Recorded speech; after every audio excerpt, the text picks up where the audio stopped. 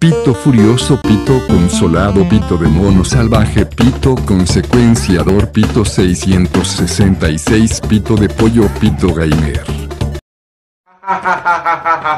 XD, XD, XD. ¡Ah! ¡Es un tío! ¡Era un tío! ¡Era un tío! ¡Era un tío! Era un tío, era un tío disfrazado. Bueno, bueno, bueno, bueno, bueno, que acabo de ver. Boas noites com Eduardo.